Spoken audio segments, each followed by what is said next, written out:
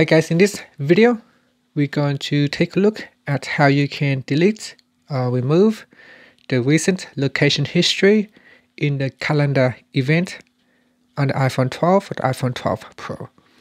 So first, let's go back to your home screen by swiping up at the bottom of the screen.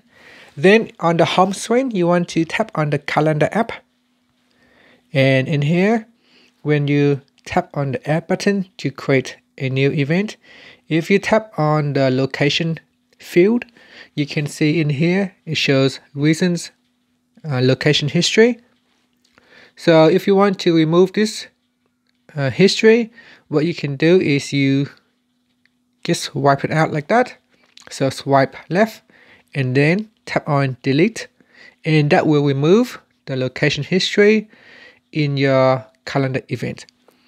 Now, if we swipe across again on this record and then choose delete and that will remove that recent uh, history. And that's all you have to do to delete or remove the location history in the in your calendar app.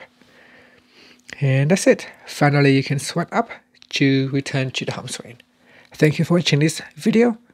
Please subscribe to my channel for more videos.